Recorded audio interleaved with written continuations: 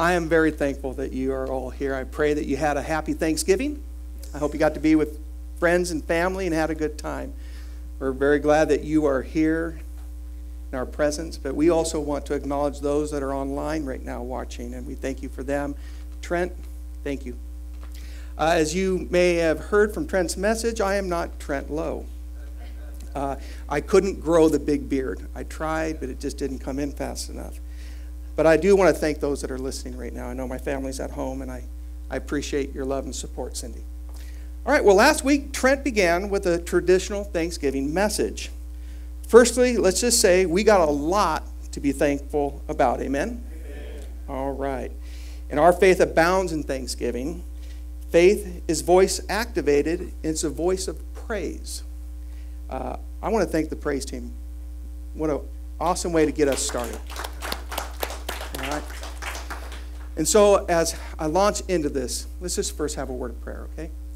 Father God, just help me to get out of my way. Father, these are Trent's words, but they're your words.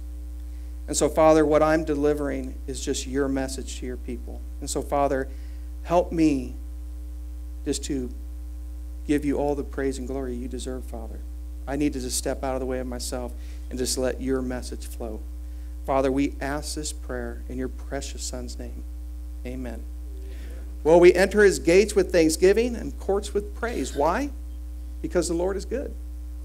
All right? We grew up in a church where we always said, and God is good all the time. And all the time? God is good. All right. Well, he shows his mercy is everlasting. The truth endures for all generations, even this one right now that we're in, and for those times to come. We thank him because we are blessed, truly anointed, and highly favored. Thanksgiving is the access code to the favor of God in our lives. And we look at this last week, and it's what I want to focus on today. The favor of God is the guarantee of his presence and the provision of his power to accomplish his special purpose in and through our lives. As we all raise our hands and declare the favor of God in our lives. Well, sometimes, church, the journey to find more favor, the best ways to increase our favor in our lives is to increase our awareness that the favor of God is already here. That's what Thanksgiving is the access code to the favor of God. Trent said last week that God doesn't give us his favor. Everybody say favor. favor. All right.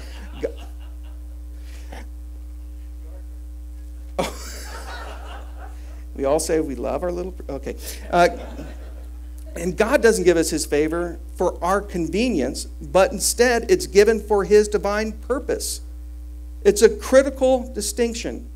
Trent was talking with someone this last week, and he said, I don't want to be the church that just settles, right? The church that is pleased with the favor of God and takes a seat and says, We've arrived. We never want to take the blessings of God for granted just so that we can make our lives easier. Trent tells a story when he left the bank uh, to become a full time pastor. Uh, those that knew that they had set aside uh, two years of worth salary for Trent uh, many of those people that knew that said, Well, what are you going to do when the money runs out? See, in the worldly view, that, those funds were a safety net. As Trent said, those funds were a faith fund. And the day that account depleted was the first day our church was able to pay all the, the bills and pay his salary. Praise God. And you know, we haven't missed that mark yet. So when we got this money for the TxDOT for this location, it would be easy. It would be easy to say, let's go rent or lease a spot. And that way we could guarantee Trent maybe 10, 15 years worth of guaranteed salary.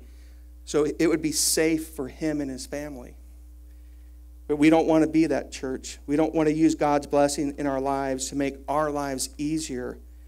I want us to be known as a church that gives God's blessings back to Him so He can have a greater impact and a blessing even more through it. Church, what I want to encourage us to know is that as a church, when God gives favor, He expects our faith to grow in proportion to His favor in our lives.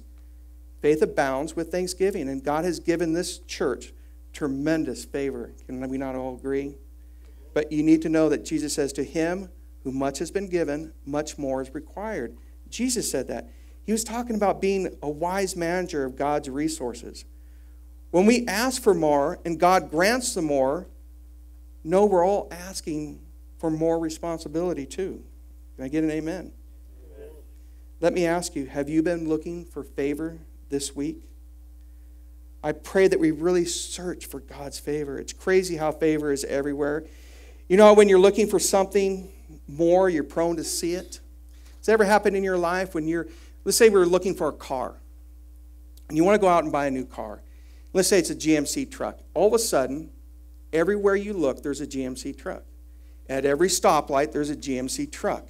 Every TV commercial, GMC truck.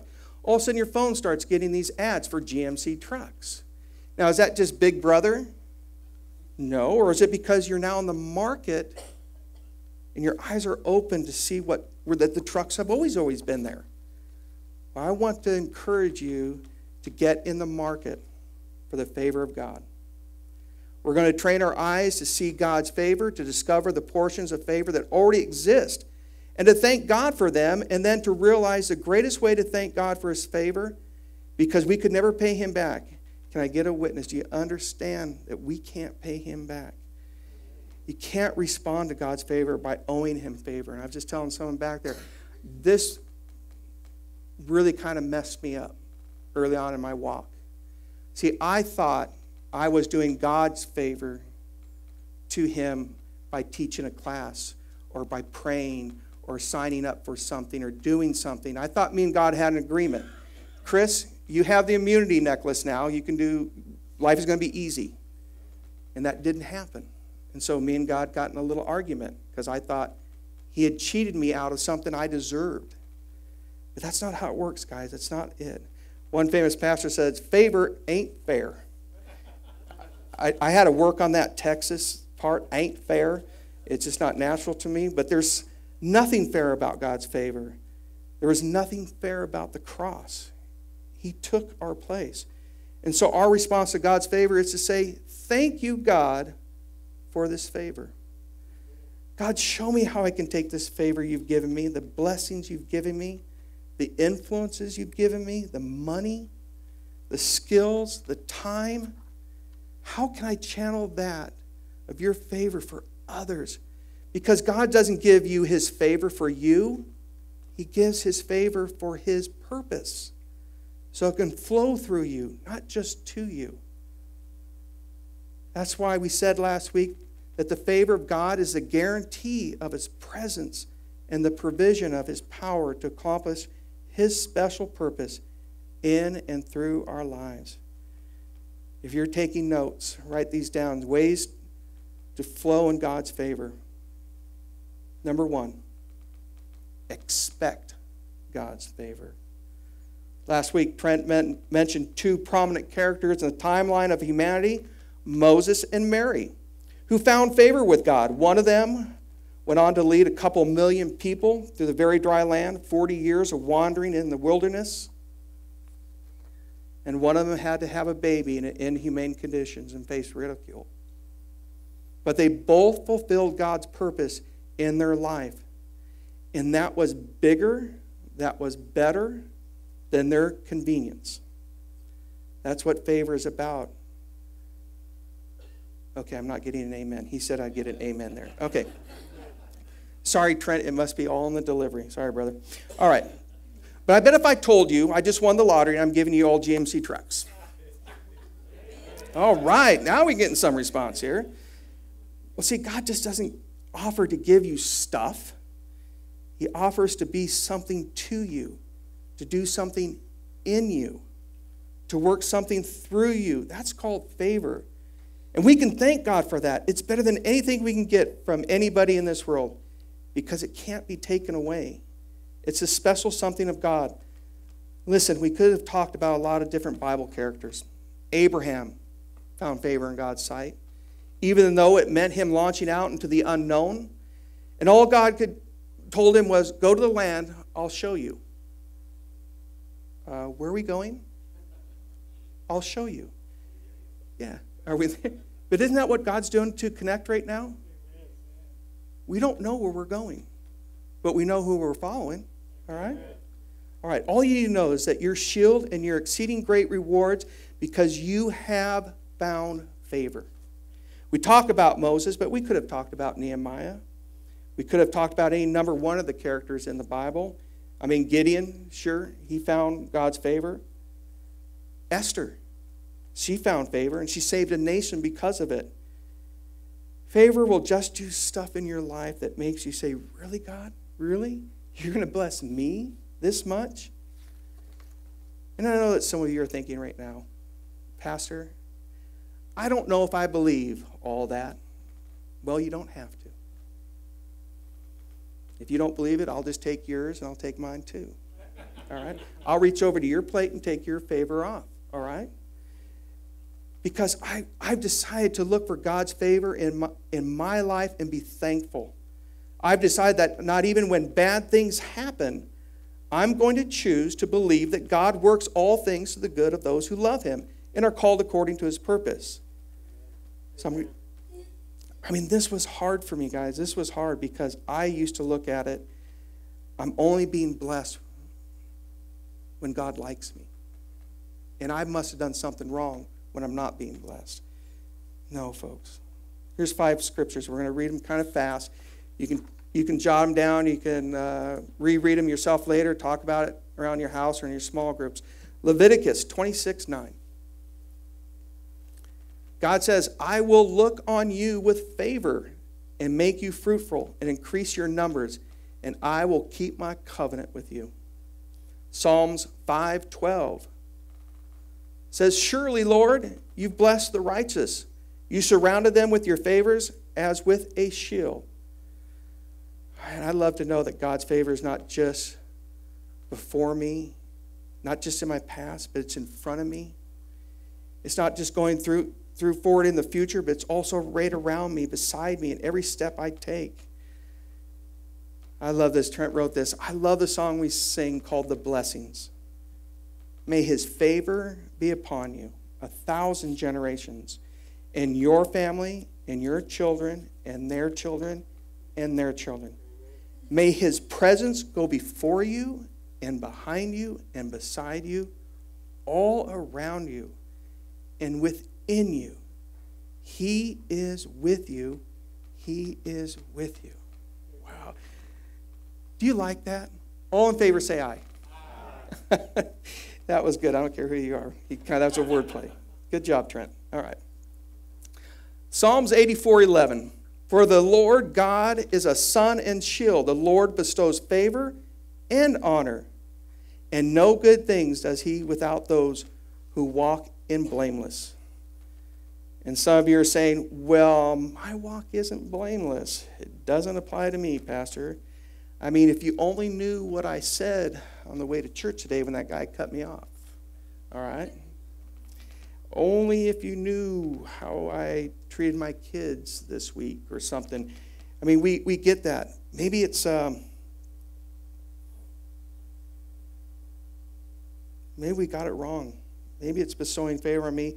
It's not because I'm blameless, it's because Jesus was. See, he lived the life we couldn't live. He died the death we should have died. And now he offers his free favor to anyone who will believe him enough just to say, Lord, I receive your favor. Lord, I see your favor. Lord, thank you for the favor in my life. It won't be wasted. Man, that preaches, Trent. Thank you. Proverbs 3 4 says, Then you will win favor if you obey my commands, O Lord, and you will win favor and a good name in the sight of God and men. Acts 2:47 They were praising God in the early church and they enjoyed the favor of all the people and the Lord added to their numbers daily those who were being saved. And oh by the way the Bible says that Jesus grew in wisdom and stature in favor with God and with men. Why, I want to be more like Christ. I want to grow in, in wisdom. And I'm sure Trent wants to grow in stature. Sorry, I put that in. Okay. But I want to grow in favor with God and men. I'm going to pay for that later. Okay. You can only say that if you're shorter than him, okay? If you're taller, you're just being mean, okay? Okay, because I'm a child of God, I've learned over the years, I just come to expect it God's favor. Thank you, God. I'm telling you that when you're in the market for it and you're looking for it, when you expect it, there's a different vocabulary that you use than people that don't have it. See, God's favor is in their heart. There's a different dialect that invades your heart when you wake up in the morning. You don't talk about, well, I wonder what's going to go wrong today. You start talking about, I wonder how God's going to be good to me today. I wonder how God's going to take this challenge that I'm facing and use it to show how great He is today because I got the favor of God. I'm walking in the favor of God today. I'm thankful for God in my life today. If that's not you this morning, if that's not how you wake up, if you're not asking God to show His favor, maybe you're that guy or gal that just gets stuck at every red light. Maybe you're always bad things seem to be happening to you. Maybe you dropped your phone and it broke, and you bent over to pick it up, and your pants ripped. And you say, Oh, that's the story of my life. You know, I, this, I used to have a saying if it wasn't for bad luck, I'd have no luck at all. That was the story of my life. And some of us say stuff like that. And we need to quit saying that. Bad things happen. When bad things happen to you and you're always disappointed, you never expect God to be good to you. If that's the story of your life, you need a new writer. You need someone rewriting that because the Bible said God created man and said, It is good. And at the end of the book, it says, We win. So everything in between is just a setup for God's glory. I mean, if David never had an opponent called Goliath, then God wouldn't have been able to show himself strong on David's behalf.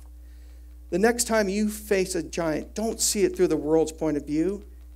It's the big one. It's the one who's come to take us down. It's the one who's keeping us from the blessings. Stop seeing it that way.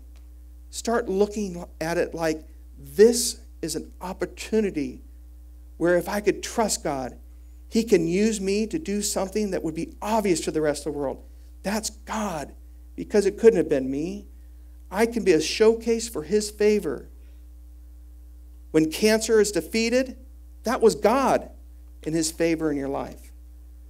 When COVID is conquered in a body that shouldn't have overcome, that was God and when you saved a life because you were in the right place at the right time, it wasn't coincidence. It couldn't be. It was the favor of God. Being a child of God, having his favor is part of the package. It's kind of like Trent's kids having a funny dad. It's just part of the package. You know, they have friends come over and they say, Your dad is so hilarious. And Trent's girls just kind of go, uh. See, they don't know how good they have it. They take for granted the fact that their dad is awesome. Trent, welcome to my world. Okay? And, and you are awesome, Trent. I don't care what other people say. Um, when you've been a Christian for as long as the favor of God just becomes a part of the package, and since we start taking it for granted, but I want you to know if you begin to expect again what it was like when you first encountered God, the favor of God. There are opportunities all around you. You don't need another opportunity. You need to open your eyes to the opportunity that God has already put in front of you. And then out of that, He'll give you a greater opportunity. If you're faithful in a little, He'll make you faithful over much. Amen. Part two, second note. One, expect God's favor. Two, recognize it. Now, where are my 90s folks? You better recognize. I, I, he wrote that. He, come on, Trent. That was silly. Okay, but let me tell you a quick story Trent's told. It's about his family got to go to a Texas Tech basketball game. Somebody had gotten them really, he used the word sick tickets and gave them to his family because that's what you do when you're a good church member. You show favor toward your pastor. That's what good church members do.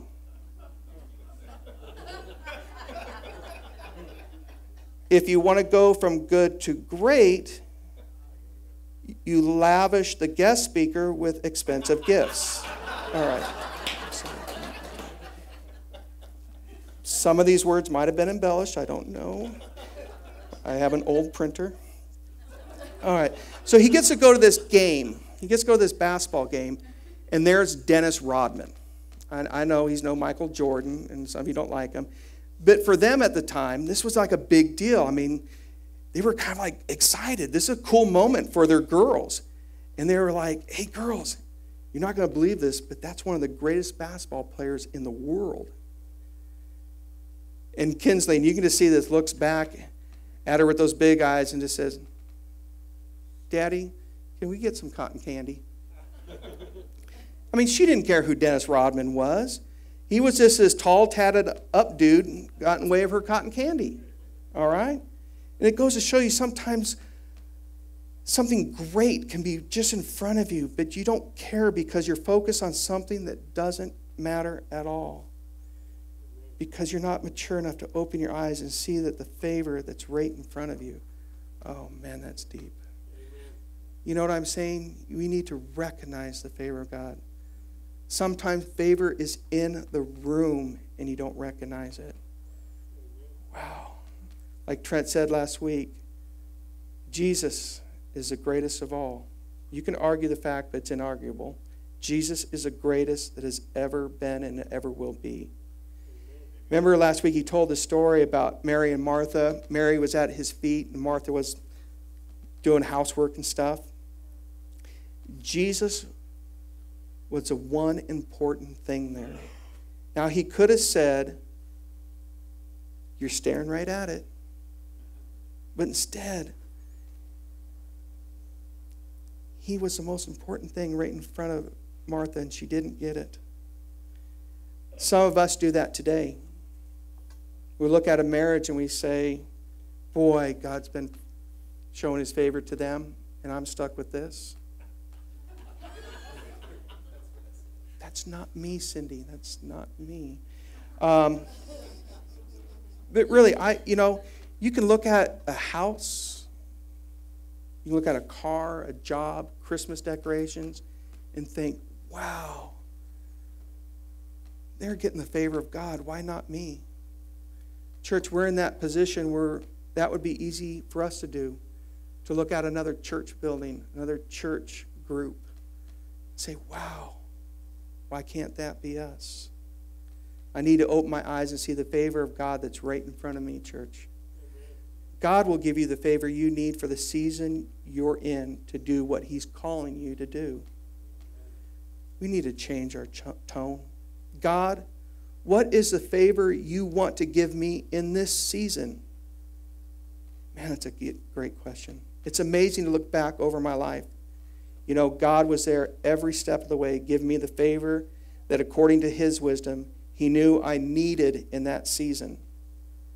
And when I look for God's favor in the season I'm in today, I realize He's been every step of the way, and my heart should explode with gratitude.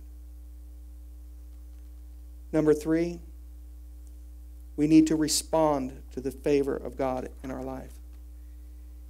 You know, although you can't produce or achieve God's favor, you can position yourself to receive it. And favor isn't just a matter of luck, and that even though you'll have difficult times, it's a matter that you actually, he puts here, I pray you do run up against some opposition. opposition. I know that sounds rude, it's not intended to be. It's so that God can be shown strong on your behalf. I want us not only to expect to see God's favor in our life and recognize it for what it is, but truly respond to it.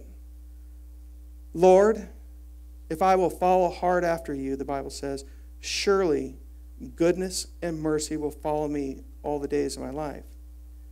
And so when I follow Jesus, favor follows me. He used this illustration of in, in baseball, they teach if you're a pitcher, don't try to place the pitch. What you have to do, you have to work on the mechanics of your throwing. And you have to get comfortable in your form and throwing the ball so many times that when you do rock back and throw it, the ball goes where it's supposed to go. Because you did what you were supposed to do. God's favor is like that. You don't leave trying to manipulate the circumstance or to create the solutions.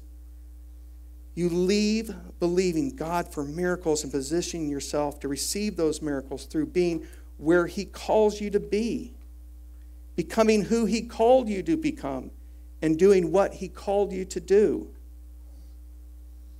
So the commitment to favor isn't just God, send me your favor. It's God, I'm making a commitment to be in the place where your favor is falling. At the end of last week, Trent talked about walking in the fog. The fog, F O G, the favor of God. It's a haze. You can't really see clearly. You don't always know where you're headed. And even now, you're going to get to where you are, he's, wherever He's taking you. There's uncertainty and even some giants in the way. But if you're walking in the fog, the favor of God, then it doesn't matter what the future holds. You're with the one who holds it. It doesn't matter where you're headed, you're in the presence of the one who's already been there. Yes, there are giants in the past, but Scripture tells us, For the eyes of the Lord run to and fro throughout the whole earth to show himself strong on behalf of those whose hearts is loyal to him. When Moses finally trusted God and walked in the fog, times weren't always pleasant, but God was always present. And God accomplished great and mighty things through, through Moses. Mary endured what no mother ever should have to endure. But because she chose to respond and walk in the fog, it was the favor of God that made her blessings among all women. God's will was done through her. How did we as a church get where we are today? It was a fog. It was a favor of God. I don't know about you, but I want to be right in the middle of God's will in my life, right in the center of the highway of His best for me. See, favor aligns us to the part of His master plan. His will gets done, and we are blessed by association. God's will will be done on earth as it is in heaven. But we got a choice whether or not we're the conduits that God uses. The favor of God, again, is not the same as favors from God. But if you respond to his favor, this, then his purpose can flow through you, not just to you. Let me show you what happens when we respond to God's favor when given the opportunity. In 2 Corinthians 9:10, notice what they're producing. For God is the one who provides seed for the farmer and then bread to eat.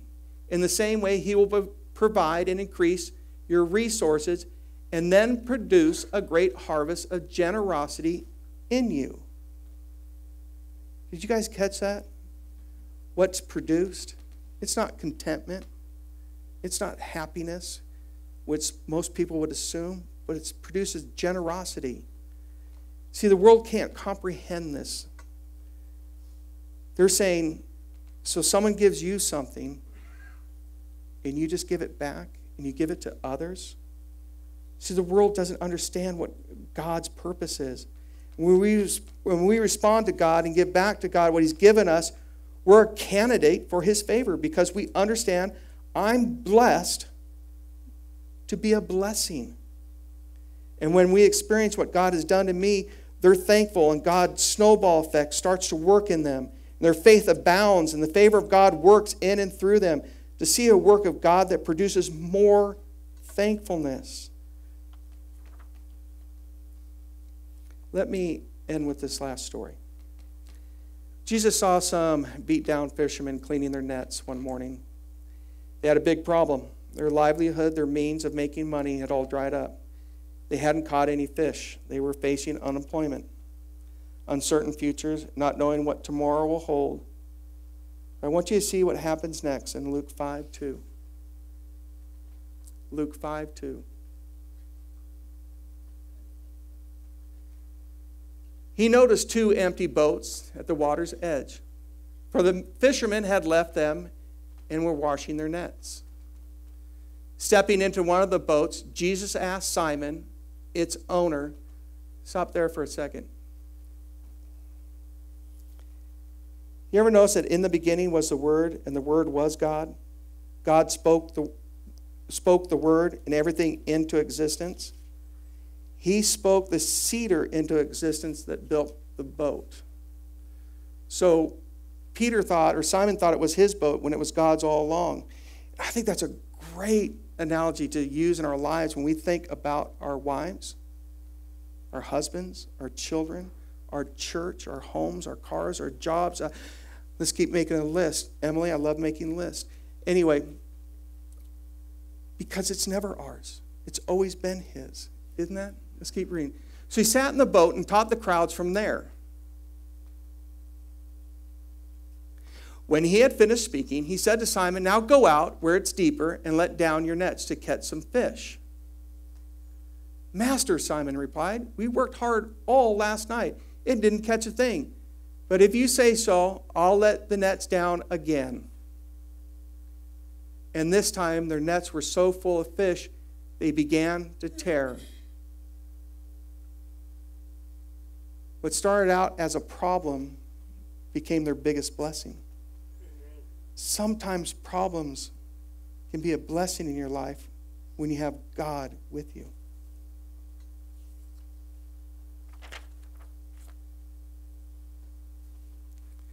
At this time, their nets were so full of fish, they began to tear.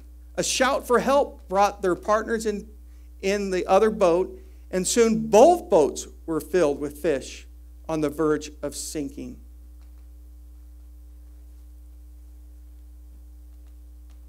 sometimes God's favor will leak into others and bless them too. You just have to be ready for it. When God starts to bless you, sometimes you're going to need a bigger boat. Verse 8.